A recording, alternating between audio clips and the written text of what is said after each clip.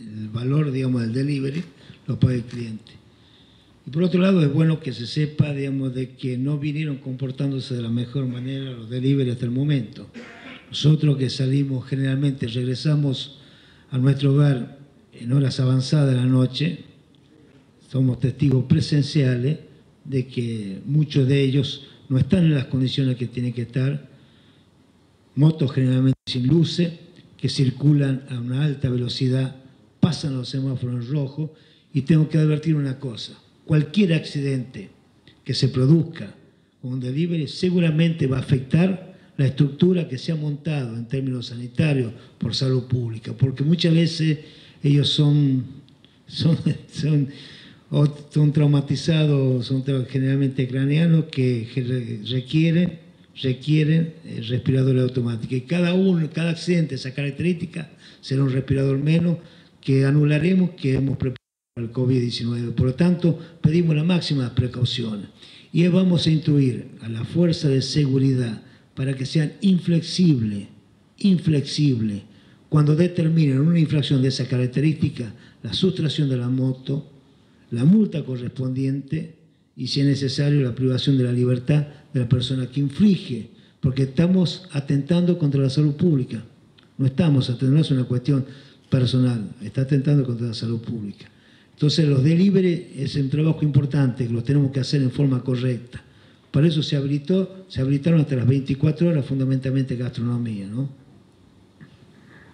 Bien, muchas gracias. Se acabaron las preguntas, les agradecemos a todos.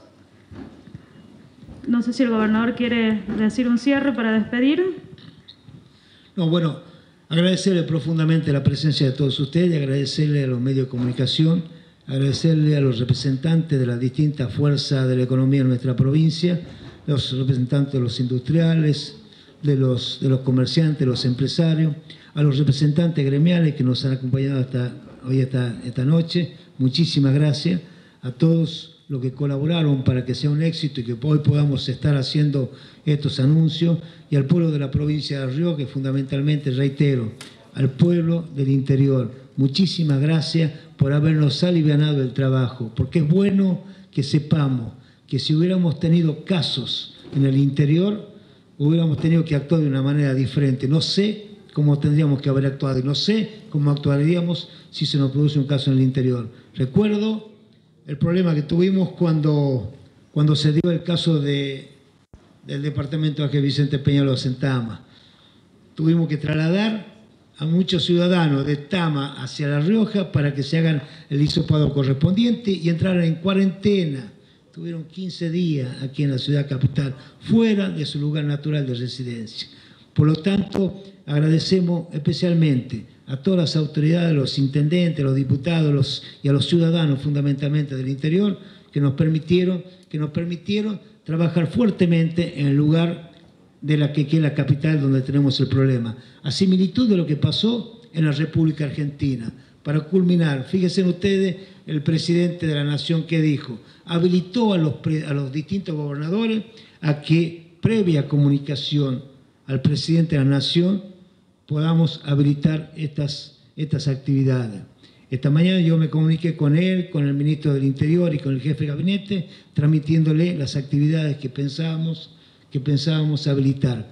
Él nos dijo, están totalmente autorizados. Lo que queremos es conocer cuáles son las actividades para tener un monitoreo y un control desde la nación. A similitud de lo que nosotros hemos solicitado a todos los intendentes acá, y reitero esa solicitud previa a la habilitación de determinadas actividades en el interior, solicitamos que se nos comunique. Así nosotros comunicamos también a la nación y la nación puede saber qué es lo que está haciendo cada provincia y qué está haciendo cada uno de los distritos de su provincia. En el caso de Capital, directamente nos comunicamos con la Intendente y trabajamos en forma mancomunada para tratar que entre todos juntos podamos lograr el éxito, el éxito de esta pandemia. De la pandemia, no, del éxito de la derrota de esta pandemia. Muchas gracias.